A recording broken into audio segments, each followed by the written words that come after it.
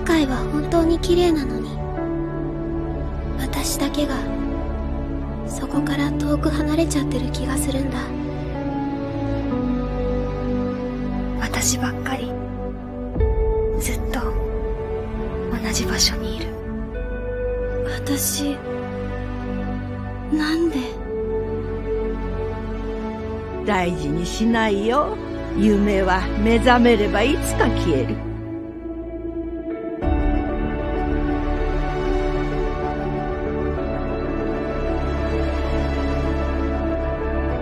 私がラジオを聴きながら見ていた景色はマガルタだったんだね。仕事とか社会とかあの人が普段いるのであろう世界は俺にはとても遠い。まるで世界の秘密そのものみたいに彼女は見える。行こうアスナさよならを知るための旅だ。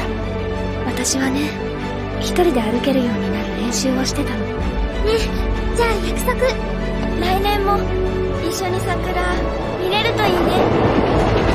ずっと何かを誰かを探している。そういう気持ちに取りつかれたのはあの日から。星が降った日。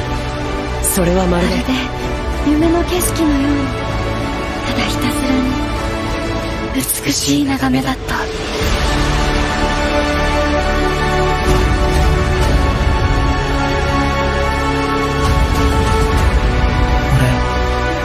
俺雪乃さんが好きなんだと。思う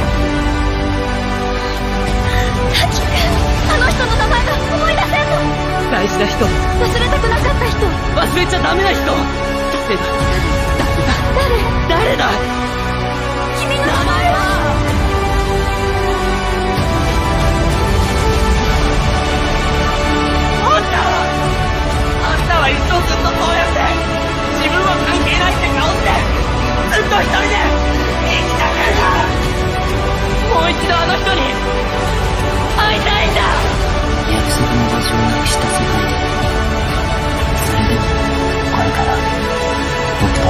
始まる藤沢君あの俺君をどこかで